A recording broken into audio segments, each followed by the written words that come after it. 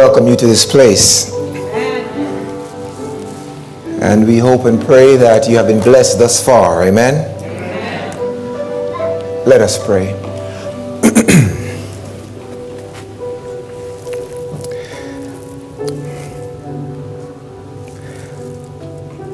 Loving Father in heaven, we still believe that this message has lost none of its power. We believe that your word will accomplish that which you have ordained it to do. It will not return unto you void. And Father, this afternoon as we now sit in this congregation, O oh God, we ask a special anointing upon this morning's message. Anoint our ears and quicken our feet and our hearts in the way of righteousness. We ask that your Holy Spirit's presence will fall afresh upon us in copious measures. May he come and have his way in our hearts for time and for eternity. This we ask in the precious, precious name of Jesus. Amen. We are continuing our our series, which is entitled Soul Train. It is a series of sermons uh, on the topic of spiritualism. And we're actually on part number four this morning. We're going to take a look at the Eastern man. Now, before I begin, I want to put out a disclaimer this is not an assault at people from the East. I believe God has people groups in all places of this world who love Him. Amen? Amen. And He is now gathering a people from every tribe and nation to His own. And we are not given the right to judge people, but we can judge ideas. We must understand and we must be intelligent enough to understand if I denounce an idea, it does not mean I'm denouncing a man. Amen. Amen. The Eastern Man. Now, there are some books uh, I want to encourage you guys to get. They are uh, written by the same author. I'm trying to get him to come here. He's a very busy, busy guy, so we're trying to work something out for the new year. Um, it is called Spiritualistic Deception in Health and Healing. A wonderful book, well researched. It is worth every penny. They're pretty expensive. And then he has a, a new one, which is uh, similar. It's actually a, this is a black and white cover, but it's colored. And it is the spiritualistic exposing the spiritual deception in, in practice and healing. It's by a medical doctor, and he's one of us. So I encourage you guys to get it. You can look it up on um, on the internet, and if you, I know a company who has them, so if you want to see me later on, I can definitely you know, give you information you, you want to get it in your library. Wonderful book, I said, and most of the information that will be quoted from this morning will be taken from those two books. Amen? So uh, I hope you guys will get it. Now let's take our Bibles to our opening text. Luke, Luke 24. Luke chapter 24, and we are uh, quoting from the authorized version which is the King James. King James Version. Are we there? Luke 24, verse number 5. Are we there? And the texts are also on the screen to help us expedite time. The Bible says, verse 5 says, let's read it together after 3, 1, 2, 3.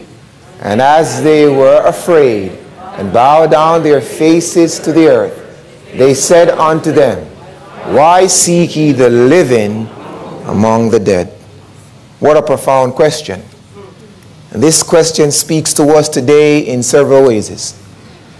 You wouldn't ask a blind man to critique your artwork, would you? No. Or ask him to critique your term paper?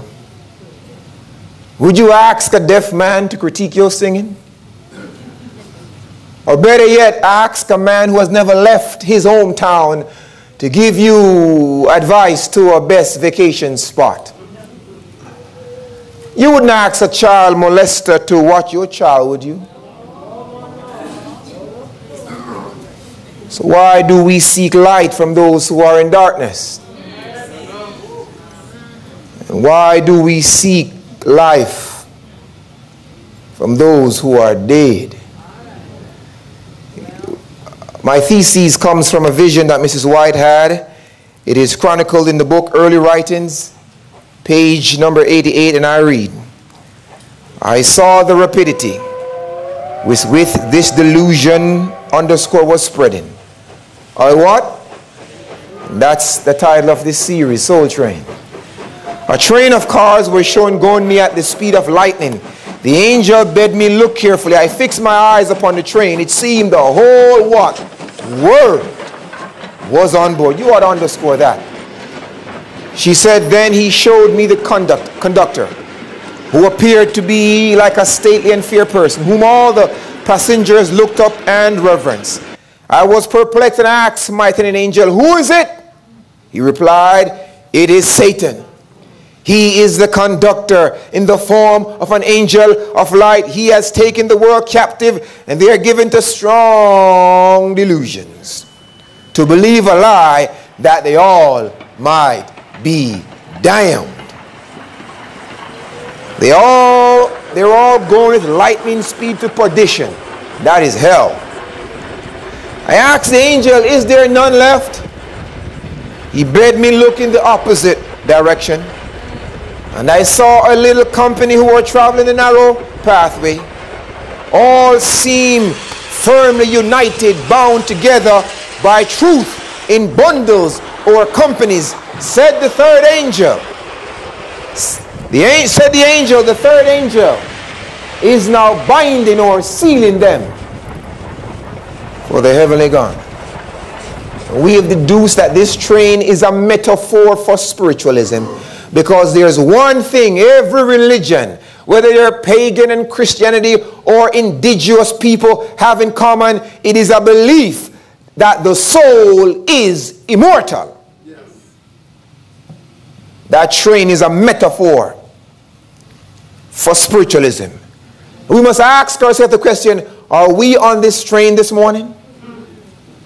And the very fact that you are a Seventh day Adventist Christian doesn't mean that Jesus knows you.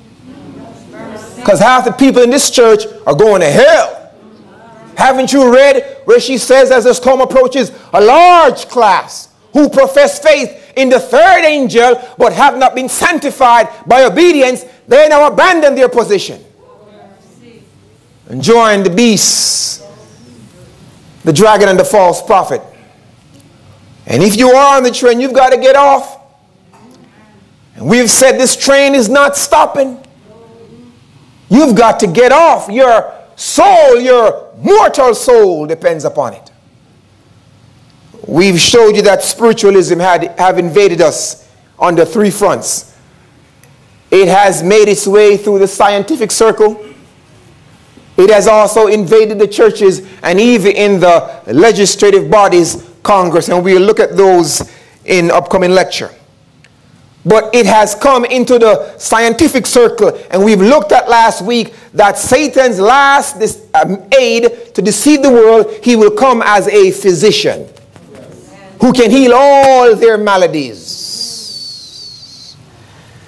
You know, there are two systems of healing today in the world. One is from above, and the other is from beneath. You've got to know how to differentiate. Because we're told the track of truth and error sometimes lies close together. Yes. And they may seem one to the mind who is not worked by the Holy Ghost. And that is why we need eye salve.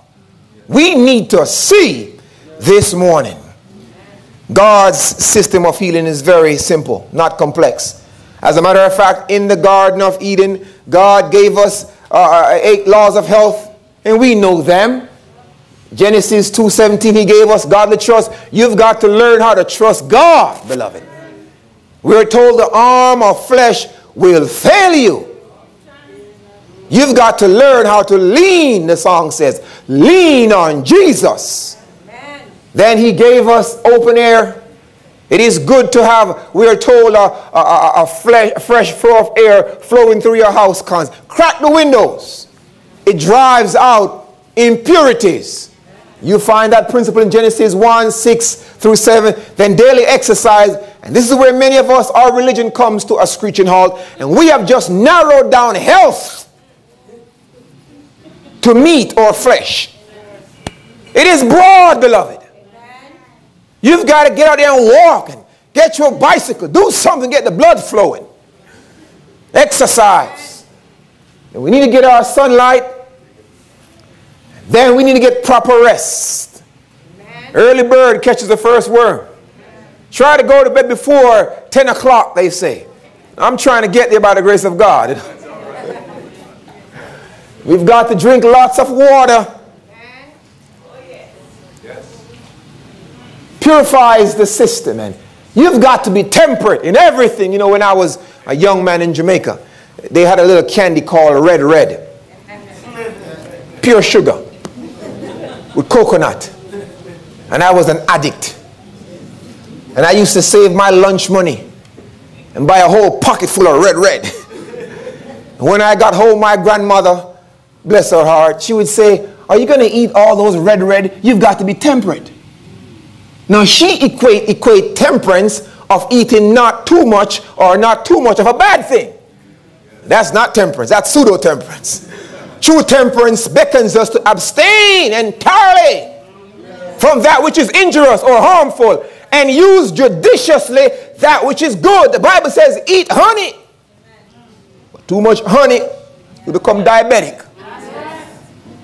We've got to be temperate in good things and abstain from the bad things. And then there is nutrition fruits, nuts, and grains in abundance. And if man will just live by these eight laws, happiness will rain down this city in copious measures. And today, men are seeking out different ways of healing.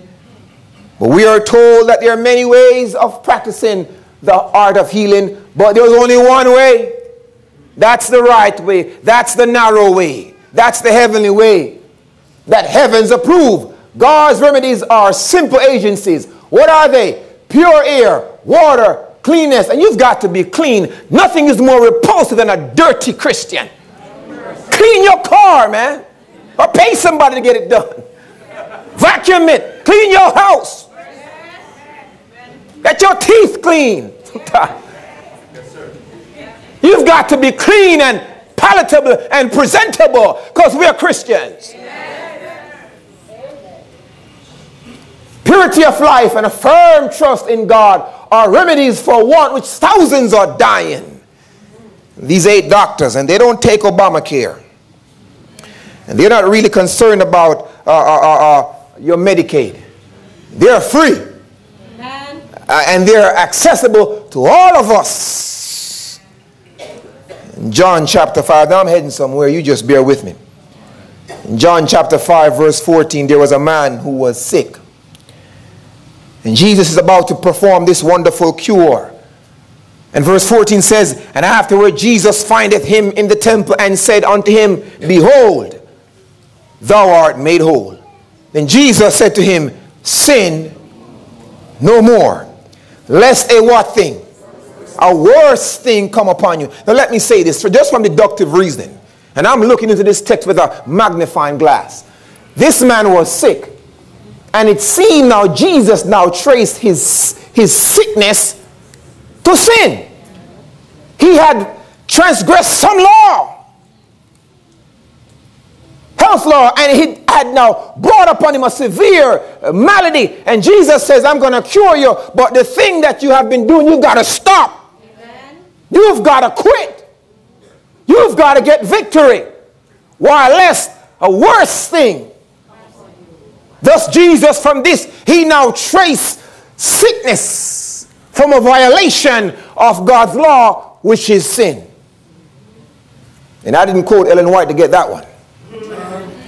So you can't say he just quoted Ellen White. Hosea had said, For they have sown the wind, and they have reaped the whirlwind. You are not run past that. And let me tell you something. She says, The Lord has made it plain that man's reaping shall be according to his sowing. And what you sow, you going to reap. You sow wickedness, don't expect to reap righteousness. And if you don't catch it, let me tell you something, your children. They say what goes around still comes, still comes around. You must understand, yes, we'll reap what you sow. Now, reaping is usually greater than the sowing.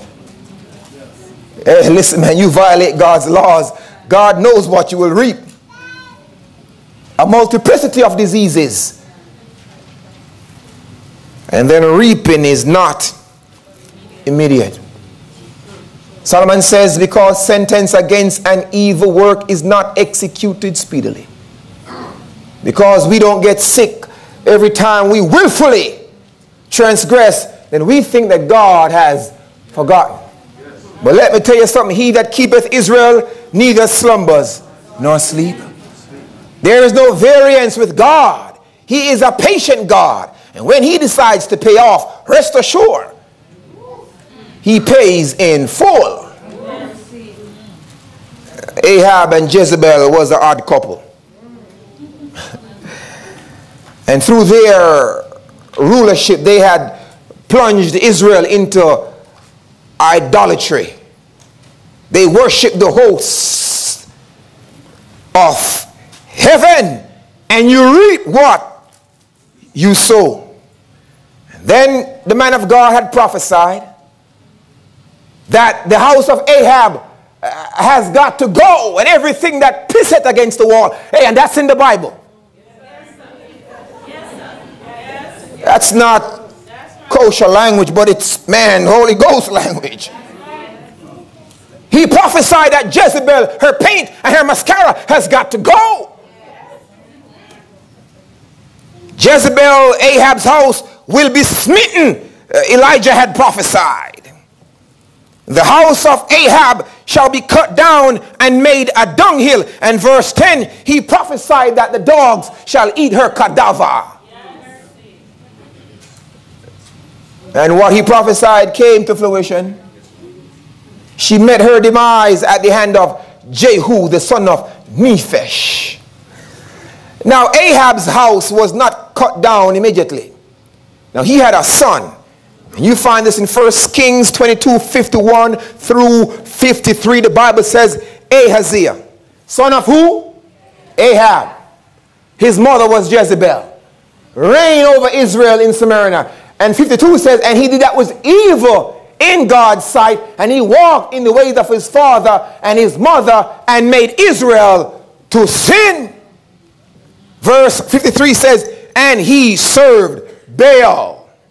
And this takes us back to the Tower of Babel and worshiped him and provoked the Lord to anger and done the works which his father had done. The apple didn't fall far from the tree. Now, the Bible says in 2 Kings 1, verse 2, that this king, one day, he fell through his, his, his, his lattice, but it's really his, his chamber. And he hurt himself. Probably he had broken some bone or had some internal bleeding. bleeding. The Bible doesn't specify. But this I do know that his fall made him sick. And the Bible says, and he sent messengers and said unto them, Go inquire of who? Beelzebub. Beelzebub. That's Nimrod.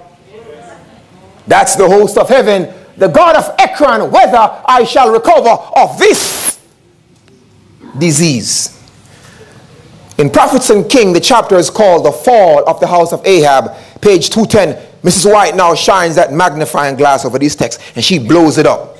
She says this the God of Ekron was supposed to give information through the medium of its priests concerning future events. Large numbers of people were, went to inquire of it, but the predictions they uttered and the information given proceeded from the prince of who? Darkness. Darkness.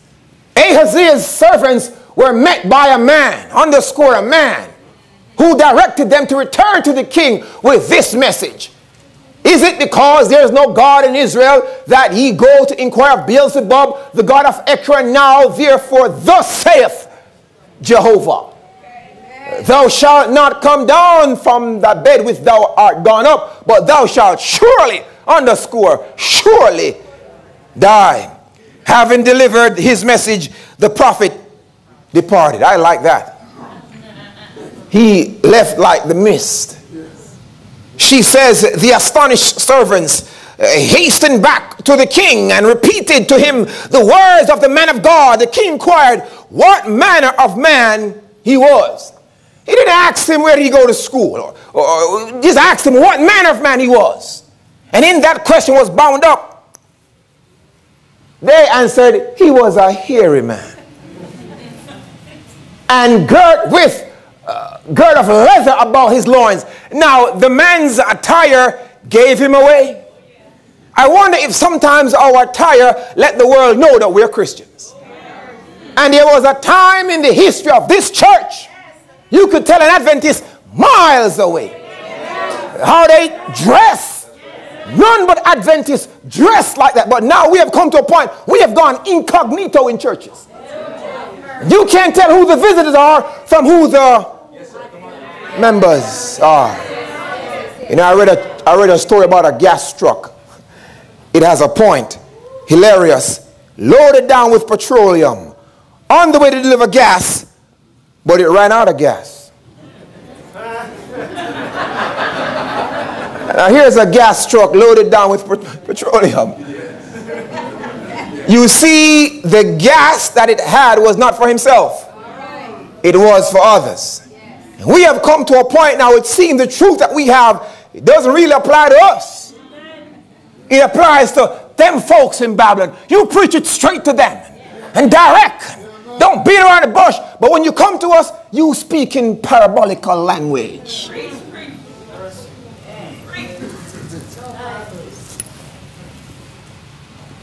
It is Elijah the Tishbite. As they exclaimed, he knew that if the stranger whom his messengers had met was indeed Elijah, the words of doom. I say the words of doom must surely come to pass and it did come to pass. Now, this story speaks to us today in 2014. She says now, she transitions. The history of King Ahaziah's sin and its punishment has its warning, which none can disagree with impunity. Disregard with impunity. Men today may not pray, pay homage to heathen gods, yet thousands are worshiping at Satan's shrine as verily as did the king of Israel. The spirit of idolatry uh, and strife in the world today, although under the influence of science and education, it has assumed forms more refined and attractive than in the days when man sought out the God of Ekron. She goes on to say, Today, the mysteries of heathen worship are replaced by secret association and sciences. Sciences, the obscurities and wonders of spirit medium the disclosure of these mediums are eagerly received by thousands who refuse to accept light from God's word through his spirit. Believers in spiritism may speak with, speak with scorn of the magicians of old, but the greater deceiver laughs in triumph as they yield to his arts under a different. Amen. And that's the concept of the frog. It has changed its form. Then she says, there are many who shrink with horror at the thought of consulting spirit mediums, yet they are attracted by the more pleasing, the more reformed forms of spiritualism. Others are led astray by Christian what? Christian science, and that's Christian Scientology, and the spokesman is Tom Cruise. And the founder of this so called religion is Mary Baker Eddy. And I want you to know the time frame. She died just 10, 5, 10, 5 years before Ellen White. And they reigned the same time. I wonder why. Do you think it's uh, by happenstance? No. She's the founder of the Montessori school. And if you have your kids in that school, pull them out. Yes. That thing is steeped in spiritualism, earth worship. And the her most monumentous work is a book entitled Science and Health, the Key to Scriptures. In that, she says, God is nature. Wrong.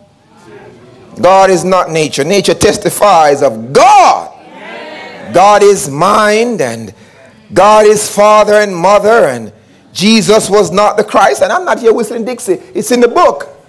Jesus did not reflect the fullness of God. And why did he do that? And why are we here? Jesus did not die. The Holy Spirit is a, design, is a divine science. There is no devil. And the reason why I should believe that because she and the devil, they were going the same way. There is no sin.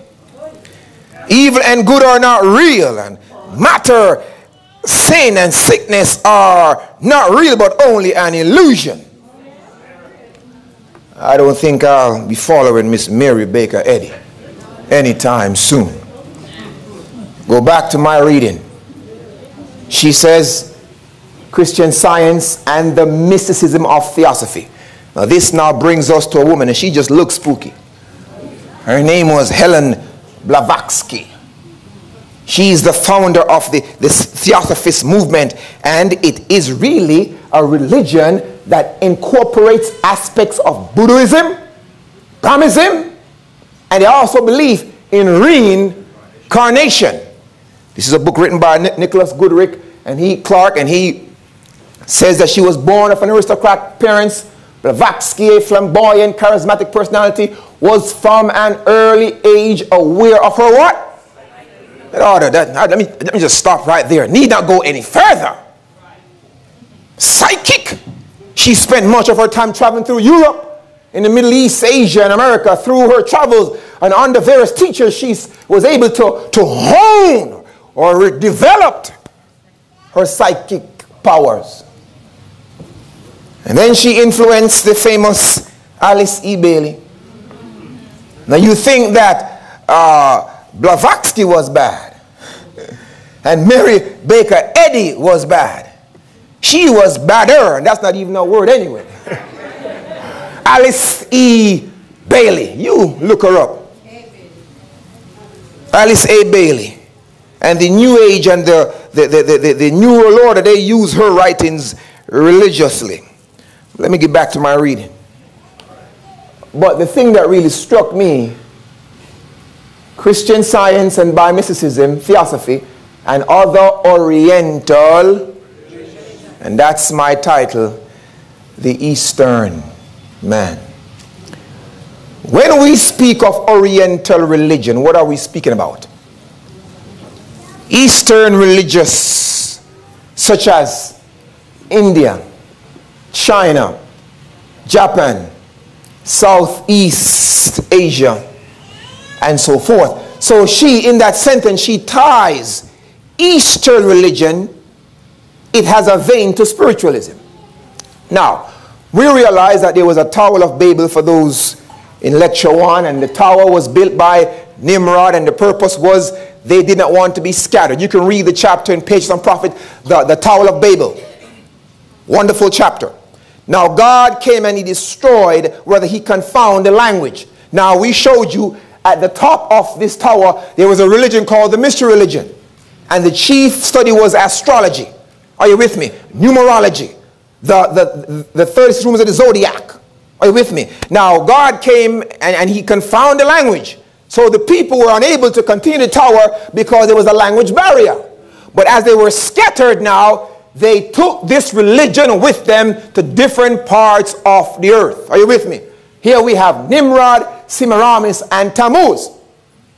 Nimrod was called the Lord of heaven, Tammuz the pagan Messiah, and Semiramis was the queen of heaven.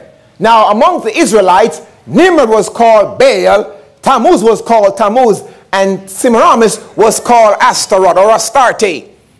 But different religions called them by different names. But it was the same Babylonian, paganistic, astrologistic worship. Now, there are two I want us to focus on. In even this religion has, went as far as India. Nimrod was called Vish, Vishnu. Tammuz was called Krishna. And Semiramis was called Isis or Divakia. China called Nimrod Panku. Tammuz Yi. And I don't know how to pronounce this one. I'm not, not even going to try and bite my tongue this morning. But the religion spread. And isn't it ironic that every culture has their mother and child? Every nation has a replica. Uh, and, and the thing that binds them together, now it is true, they may not all practice length in its outward form. Why 40 days of length? We learned Tammuz died at 40. So in Ezekiel chapter 9, 8, when Ezekiel said they were weeping for Tammuz, Ezekiel doesn't give us the actual length, but we know it was 40 days of weeping. Tied to it was also Ash and Ishtar and astrology and sun worship. So this religion was called the Mystery religion. It had everything in it. So every nation, even they were scattered, they incorporated these principles. Are you with me? Now, so here we see now Semiramis in India will be Divakia and Krishna. Vishnu would be the equivalent for Nimrod. So you see the, the, the, the replicas. It's the same thing. Now, when you get down to China, this was Panku, and this was uh, the, the, the, the, anti-type of Nimrod, of Semiramis, and there's a child, Tammuz. And this is Panku, and he was supposed to be Nimrod, a giant, and he rules in the air. Now, beloved, we have come to a point now that the East is now seeking to evangelize the West. And paganism is now moving from East to West. Now, I'm quoting from the book, this book that I told you about earlier. And the author says this Outside of God's original plan of health and healing, the oldest continuous system of medicine is called what? Ayurveda. I broke up in syllables this morning. Right? It has its beginning from the Indus River in the northern India sometime before what? Now we learned that the Tower of Babel, right, was built in the year 2342 BC. BC counts down. So by the time this, this religion here now came on, this healing came on the scene, we were 642 years removed from where? From the Tower of Babel. But bear in mind, it's still incorporated the worship of astrology, Nimrod, Semiramis, even though the language were changed. He goes on to say now, it was established by the same ancient sages, holy men who proceeded, who pro produced India's original system of meditation, yoga, yoga. and right? So you can tie Ayurveda to yoga and astrology. Now, Time magazine uh, had, a, had a cover, and this is a pretty outdated one. Uh, and on the, uh, we were amazed to see yoga on the front of a Western magazine. Yoga is a Eastern practice. Now, they ask the question not what's so bad about yoga? Isn't it just stretching? It helps me to release my stress, to get flexible. Now, yoga is practiced all across this world. Now, in America, the kind of yoga that is, that is practiced is called Hatha Yoga, where it, it only focuses on the stretches. That is what's practiced here in America. Now, what is yoga? Yoga come from, it comes from the word sans, sans, Sanskrit, and it, it's generally translated means a union or to what? Yo. So when you practice yoga, you are yoking. You are unionizing yourself with something. The absolute God of Hinduism. So that's the whole purpose of yoga. Whether it's Western or Eastern, you are yoking yourself with the chief god of Hinduism, which is Brahma. Now, Brahma is Vishnu. It's the same God, which leads you right back to the Tower of Babel, brothers and sisters. Let's connect the dots this morning. Now, lest you think that yoga is just some little plaything. This is actually a journal, uh, yoga, yoga journal, where folks subscribe to it by email. And the journal released, Yoga in America, says this. The latest yoga uh, in America studies just released by Yoga Journal shows that 20.4 million. Now, I'm going to tell you something. If you're practicing yoga by default, you're on the train. Now, when she said the whole world was on the train, now you can see, brothers and sisters. You've got to get off the train because yoga is going to lead you to hell. You are yoking yourself up with Satan. And no one who, who's knowingly practicing yoga will enter heaven. You can quote me on that one. Let it sink in your cerebral this morning. It's about heaven or hell, brothers and sisters. It's not my opinion. Look what happened now. Compared to 15.8 million, it has jumped 29%. And not to mention the monetary basis. Practitioners spend $10.3 billion a year in yoga classics, classes and yogaism and yoga products, yoga cup, yoga scarf. And you can't use yoga without the yoga pants. You know, when I was in college, eh, the FIU, you know, I, I played soccer for them and, you know, off season, you know, we had to work out. And I had, I had to you know, do summer classes and I needed an extra class to boost my, my GPA, get it on a 2.5-ish, you know. that's, all, that's all I wanted, you know what I'm saying? You know how it is, athletes, we're not really into that kind of stuff, you know. But anyway, so a friend of mine, his name was Nuki. He played, he says, he says, not to listen, man. Won't you come take this class? It's called yoga. I never heard about yoga. The only thing yoga knew was Yogi Bear. That's the first I went about no yoga. Literally. So he said to me, they got some pretty girls in that class. And that's why I went, brother. You know that, that those days I was in the world. So we signed up for the class. It was a, I think it was a two credit, two credit class. You know what I'm saying? We paid, you know, about six something. You know what I'm saying? For the class. Went there and I had to get the yoga pants. I'm walking around these little spandex. When I got in the class, it was pure men in that class, that, that, that quarter. It seemed that all the men had heard all the girls were going to take the class. and they signed up.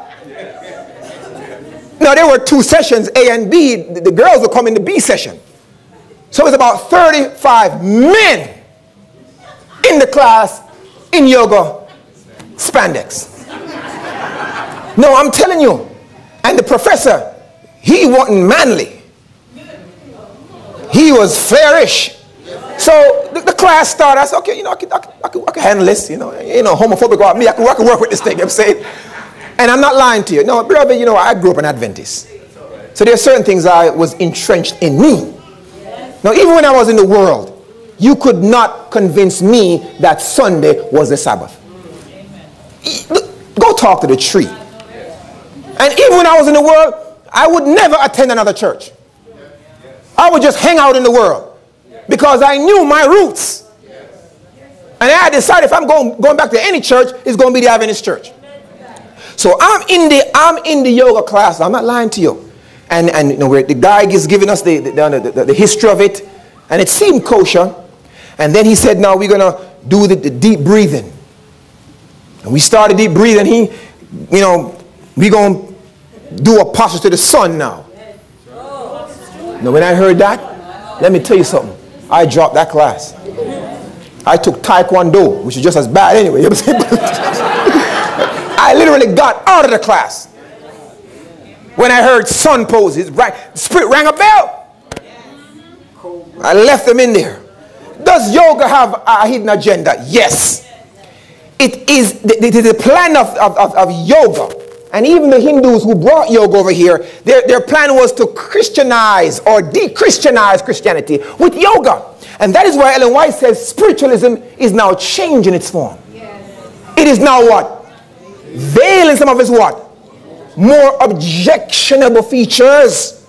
But she said it is more dangerous. So what they have done with yoga now, they have changed certain words. For instance, the pranayama right, is called deep breathing.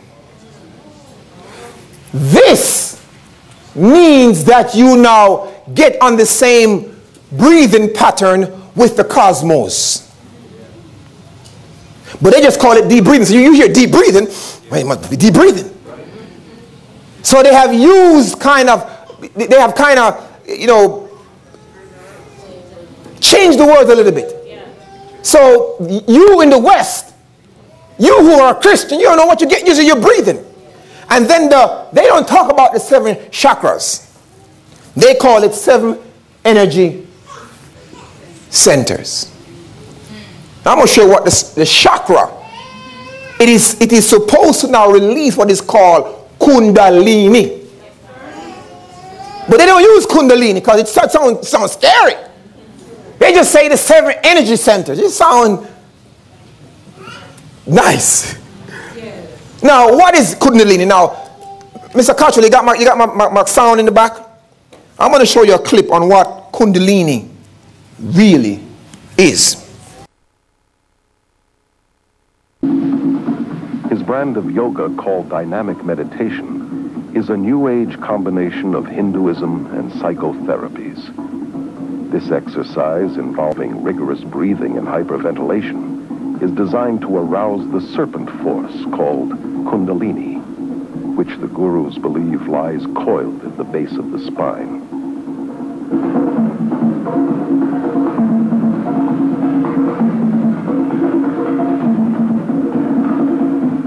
I did dynamic meditation every day.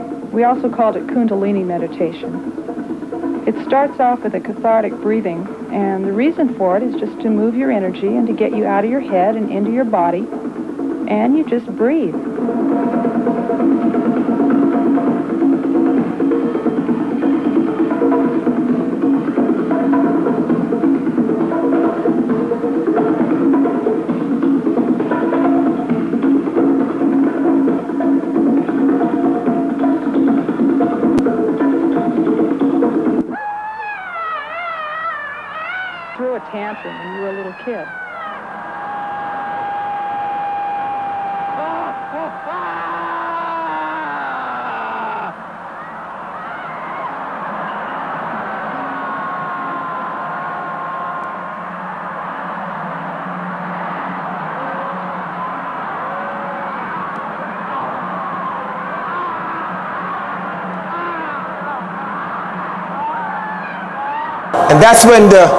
Kundalini is now released.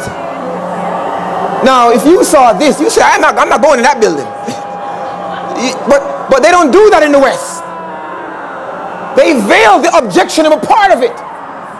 So then the question, let me turn these lights back on because I need to let there be light. this is the question now. This is the question I get from most young people is this. Right? Right? Many now have tried to separate yoga from Hinduism. So we say, I'm, I'm not practicing Hinduism, I'm a, I'm a born again Christian. I don't support Hinduism, but I only do yoga. Or a person, this way now, can a person reject the spiritual aspect of yoga but still practice the exercise? You know, when I think of this, there's a story in the Bible about Saul. Samuel had told Saul to go and smite the Amalekites and destroy everything they have in 1 Samuel 15, 2 and 3. But what Saul did now, Saul, what Saul spared Agag. In other words, Saul says, I'm not going to practice Hinduism. I will just do the stretches. it's like this crazy music, the gospel rap. And folks, so you know, I don't listen to the beats. I, I, I reject the beats. But I just focus on the words. Light and darkness cannot harmonize, brothers and sisters. What Bible are you reading? Doesn't Jesus says, can two walk together and set they be agreed? And, and, and, and when Samuel came, he says to Saul, what is that I hear? The breathing of the sheep, he says, behold, to obey is better than sacrifice. He says, for rebellion is as witchcraft and stubbornness as idolatry. So, can a person reject the spiritual aspects of yoga and still do the exercise? No. Here it is God of the New Age. Jeremiah Finn says this There can be no Hinduism without yoga, and there can be no yoga without Hinduism. And what most folks who practice yoga don't realize, even the hatha that they do over here, hatha has two words hath sun, thamoon. Therefore, each stretch you do is a salutation to the sun and the moon and the stars, Semiramis, Nimrod, and Tammuz. All these are poses that you're venerating the sun. There it is, brothers and sisters. It's to the sun.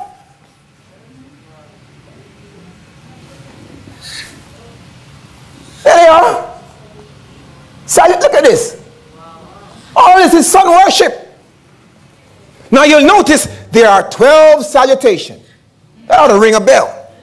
Because it brings us back to the 12 signs of the zodiac. This thing is steeped in astrology. And for this is an incriminating piece of evidence. And for a Seventh day Adventist, yeah, Christian, to practice yoga in the light of this, God is not going to wink anymore. And if you're in yoga, you need to cancel that class ASAP. You said, not what? Well, I need, I need a, I need a workout. Man, go walk at the park. Grow a garden. Do something else to lose weight. But get out of yoga because you're yoking yourself to the devil. I wish I had time to talk about yoga, but let me move on. Then we have Panku. Now, Panku now is China. Watch it now. In the Chinese concept of healing, all matter is made of yin and yang. Yeah, there was a, a rapper that came out called the Ying Yang Twin included in every part of the human body. Illnesses are either what?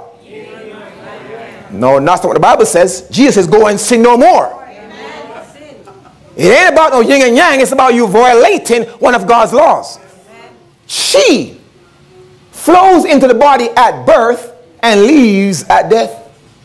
During a person's lifetime, it flows in a specific and continuous pattern in the form of yin and yang. And this is where it comes from. It is the, this their logo. It is a balance of good and evil. There's no balance between good and evil. You cut the lights off in this church, darkness comes. You cut the lights on, darkness leave. There ain't no balance in that. And so therefore they say now illnesses is result of an ill balance. So we either have to lower the yin or raise the yang, but we've got to get them on an equal par. And that is why the same principle with martial arts. The same concept of yin and yang. Why do you think we're black and white? Because it's the cheapest way to go. why do you think the dots of the dominoes are black and white? And, and dominoes is an Eastern game. That's the principle of there. And you got church folks who will play this all night. And they will justify it in the name of Jesus. But rest assured, you reap what you sow. You are sowing the wind, and trust me, if you don't break loose, you shall reap the whirlwind chess. The same principle. The same principle why every time a president uh, visits the Pope, he is in white and the woman is in black. Why don't she wear pink? Or some bright and, and, and, and robust. And that's just, this is Hillary Clinton.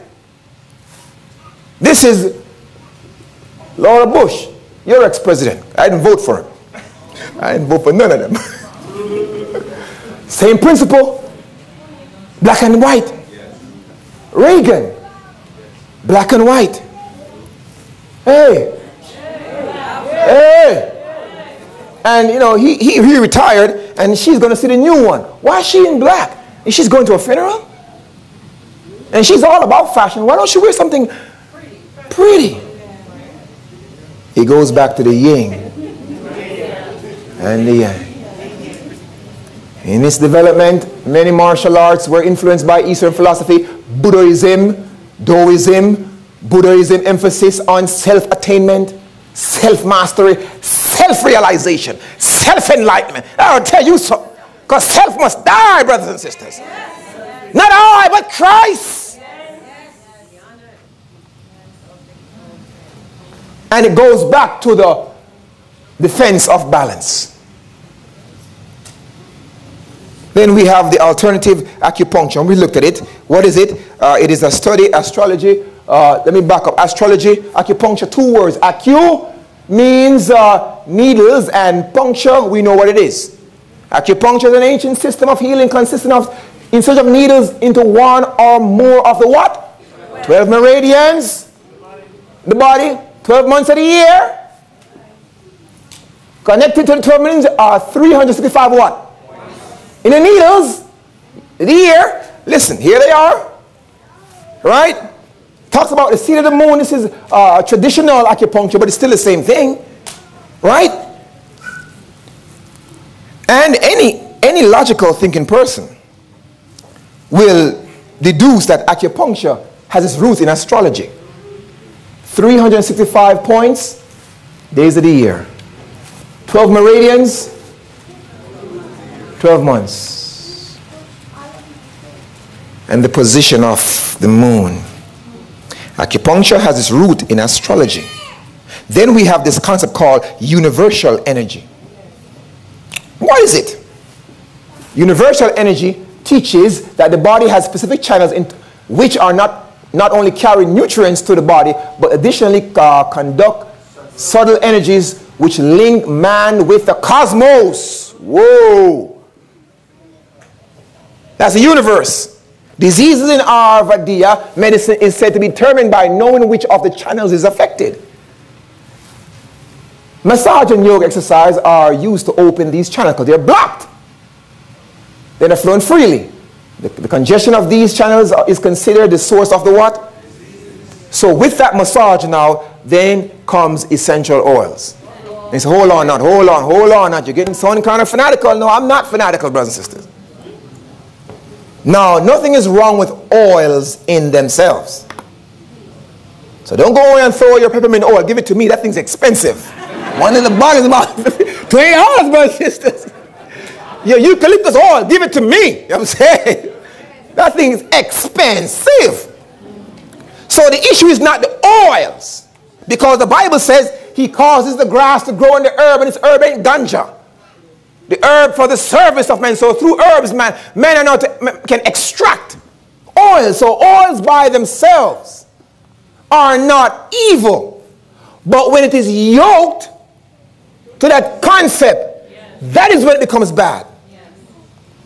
Here it is now. In Ayurveda, it is thought that there are some 107 points in the body called trigger points. Oh, right? And by massaging these points, we are able to facilitate the flow of energy that may be stagnant, blocked, or in some way congested. By massaging particular marana, marama points located on the body, said where the congestion to flow the universal energy with essential oils, the energy now begins to flow. During different types of essential oils are used for different types of illnesses and in turn, these oils will be chosen for application to the particular trigger point. That is when it becomes dangerous. Not the oils by themselves. See, the devil has to make some light with, with, with good. With good. Right? Then we have what is called reflexology. What is that? Reflexology is a gentle contemporary therapy which the practitioner applies controlled pressure within the thumbs or the fingers to specific areas of the feet or sometimes the hand. It is based on a theory that every organ structure and part of the body is mirrored in the feet and that any problem or tension in the body is reflected in the part of the foot. So in other words now, for instance, your, your, your, your big toe, this toe right here is with your eye. So if you have an eye problem, I go to the foot. Because this toe has a nerve. You know, even the apostles never practiced these foolishness. You just look in the gospel. Did Jesus massage anybody's foot for no healing? Right? At this now. The nerve endings, primary in the feet, are stimulated by specific uh, massage technique to enact change in other part of the body, thereby to create a healthy system and help overcome what? It goes as far back as ancient Egypt. And there it is. Massages. Now, you say, not, is anything wrong with me getting a massage? No. Massages are not bad. Matter of fact, when I leave here Saturday night, I get one. My wife rub my feet. No, hoping it's your wife rubbing your feet. You know so massages by themselves are not. Don't leave here saying not saying I shouldn't get no massage. I didn't say that, church. You got it on camera. As a matter of fact, even in our sanitarium, Dr. Kellogg, through the Counsel of Ellen White, used a massage called Swedish massage. Now today, Swedish has gone swindled. They, have left. They, they, they, they incorporate all kind of foolishness. But even if you go to Wildwood and, and, and Uchee Pine and some of these places, they do teach Swedish massage. And the principle is male do not massage female. I'm going to tell you a true story. A buddy of mine, he got his teaching in one of these schools out there in the world. So he was massaging everybody. And he told me one day he was at a woman's house massaging her, and her eyes begin to dilate in her head. You read between that.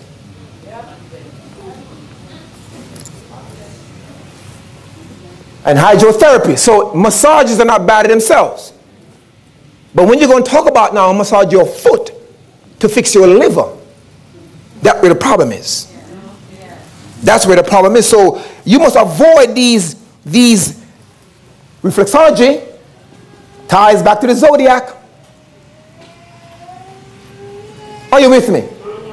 Various part of the body. Pisces. And why the foot and the hand? Why did they choose those two, two, two, two, two, two parts of the body? It is said early in the development of the astrological system in the East, the 12 houses of the zodiac were assigned, assigned to various parts of the body, starting with the head, Aries, the arm, the ram, ending to the feet, Pisces, the fish. So it's linked man back to the universe. Here it is now. The organs of the body were then assigned, skip on down, the Chinese divided the body into vertical manner, believing that a specific universe, cosmos, energy, just sound confusing, man. Called chi ran through the body, flowing to the 12 vertical divisions called meridians. Reflexology, the book says, is a variant of acupressure, acupuncture. The cosmos. This is the punchline now. Teaches that there are crystal cosmos of calcium and other substance on the nerve ending in the hands or the foot that are supposed to connect with the organ of the body. The massage is said to break up the crystal, which will relieve nerve or energy blockage, which then brings healing. And then they apply these energy stones on your foot. Reflexology is tied to astrology, beloved. Amazing. This is serious. All of these things. Then we have radiology. Lord have mercy. You know, when I was young, and this is so true, it's really a Chinese practice. There was a man down crossroads, a Chinese man. And they say he could look in your eye and tell you where you were sick. I didn't know what it was. It's called iridology.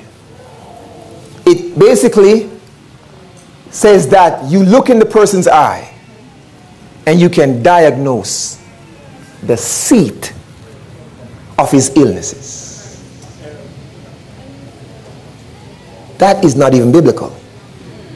And the guy who invented it, I forgot his name, uh, the, story says he, um, he found a bird and the bird, this German doctor, the bird had broken its neck, something like that. And he looked in the eye, and then the eye had a line in it. And that line was there's no, the, the, the, um, the, the bird had broken his neck. So he connected now the neck being broke to something in the eye. Iridiology. Illnesses result from ill balance. That's, that's the whole concept of iridiology. Now here it is now. I'm quoting from the, the book. Is an alternative method of making a medical diagnosis for the patient. Present, sorry, and predicting disorder in the future. Interesting. Iridiology. It is a divination method which involves examining the iris of the eye and expecting the color, texture, and location of the various pigment fleck in the iris. The practitioners say they can detect imbalance. Whenever you see the word imbalance, it goes back to yin and the yang, brothers and sisters. Because you got to get the yin now level with the yang in the body system, which then it can be treated with vitamins. And because they add vitamins and herbs, it just sounds kosher. Everything now is organic. One man told me, I sell organic pork. that means he doesn't, he feed his pigs natural stuff. That's organic. And that's how we're deceived because they put non-GMO on it. and we just automatically think The book says, hope you can see it. Now, iridiology is tied to astrology. It says, all right, you can't read it. His name is Brent, he's an iridiologist. He says this From an Eastern point of view, the eye may be viewed as the man, mandala. The mandala links the microcosm. There it is now, microcosm, that's, that's the cosmos. And the micro cosms, macrocosms, thank you, through the man, man, Mandela, mandala. Man may be projected into the universe through the universe into man.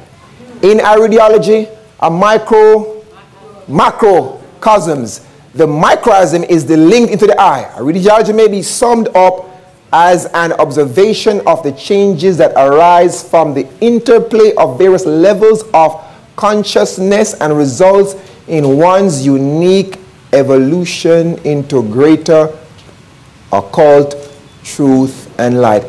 And this is from an Ariologist, an astrologer. Beloved, we are here. And that is how Satan has come to us. He comes as the healing man. See, many of us Adventists, oh, we won't go to Mama Lou to get your palms read.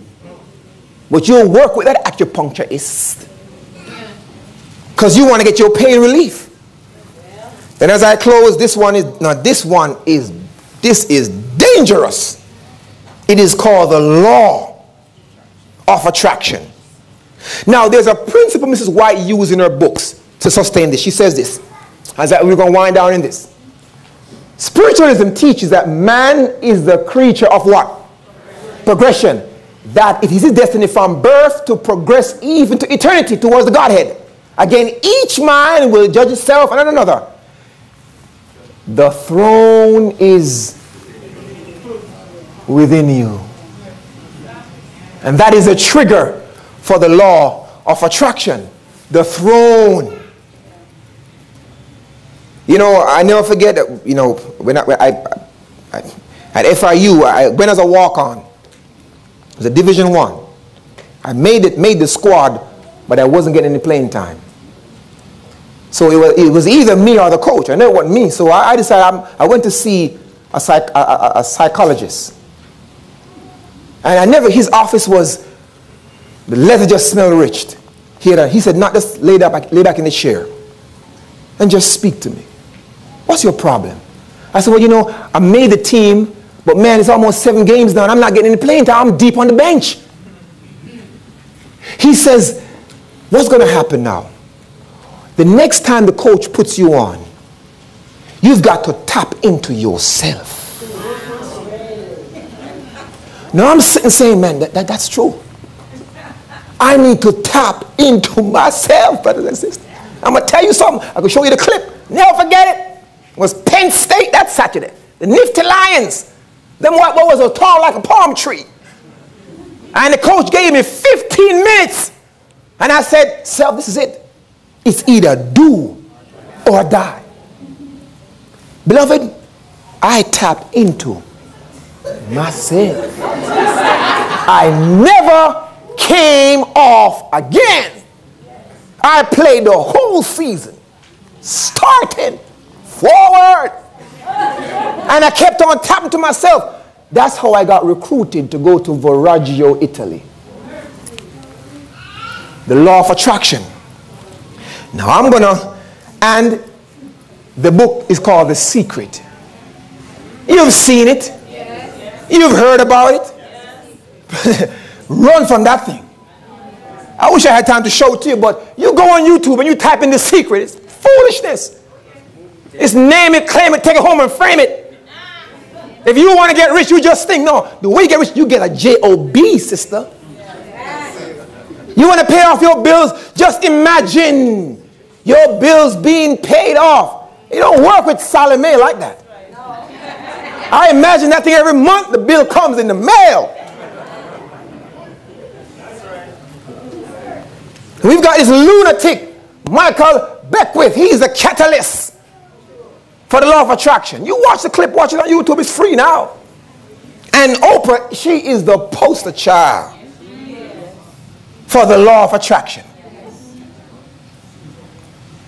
And then even religious teachers use the law of attraction in their sermon. You see this guy here? Joel Osteen? and Rick Warren. And let me tell you something, Adventists, we're we're following Rick Warren like he is the disciple. See, we, we, we, we, we, we won't use the book Evangelism by Ellen White. That's too antiquated. But we'll get that purpose driven, which is steeped in Taoism, Hinduism, Buddhism, Brahmism, spiritualism, and all isms, schisms you can find. One church had the nerve to use his book for Sabbath School Quarterly. And, and, and, you see how bad we get? See, we can read Rick Warren's book for Sabbath school, but let me quote Ellen White. Oh, I'm not going back to that church. He quotes too much Ellen White. But if I was quoting Rick Warren, we wouldn't have a problem. Why do you seek for the living? Among the dead. Blind lead the blind. They're going to fall in a ditch. That's what the Bible says, brothers and sisters. This man is on the train heading to perdition. And he's on the train too with his million dollar smile. And his sermons are just so groovy. the law of attraction. He don't call sin sin. He just dance around it and nice it up and make people feel good in sin. That's where we are. The host of them. And then you got this Tony Robinson fellow. Adventists would pay money to go hear Tony Robinson inspire them to great heights. And he doesn't do the love offering either. See, I come to your church, you will pimp me, you give me some love offering. Not Tony Palmer, you got to register before you get there. Then you've got the, the, the flight. Ain't no jet blue. You flying Delta. Him said, you've got the hotel and food and drink ain't included. To hear this new ager mysticize you with, with the Eastern mysticism. Adventists, shame on us. Shame on us. There they are, celebrating this secret. That's why I don't listen to him. Neither watch her. And I hope you're not home watching Oprah. Because she is on the train, brothers and sisters. It's all about the law of attraction with them.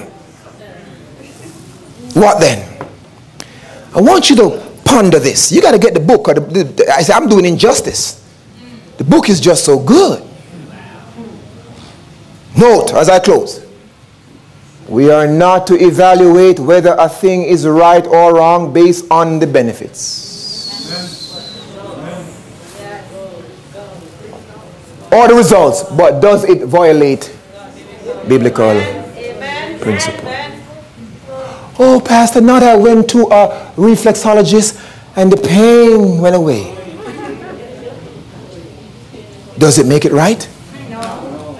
Not based on the results, because we're told through these modalities, she says many undeniable wonders. Or I went to an acupuncture and that back pain went away. I feel like a million dollars.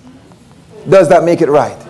And you know, Mrs. White says, if you are sick and your life, your, your, your liberty rest on going one of these modalities, she says, you better die in Jesus.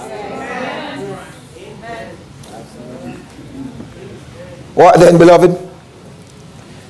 There is an oriental stranger at the door. Shall we or shall we not let him in? There is an oriental stranger knocking at our schools. Some of our schools have yoga classes as elective Adventists. There is an Eastern man knocking at the door of your house, whether you live in Acreage or Jupiter, or you're renting an apartment. Shall we or shall we not let him in? But then there is another man that's knocking at the door. And Jesus says, Behold, I stand at the door and knock. And when he comes in, he brings true healing. He does not just heal the body, but he heals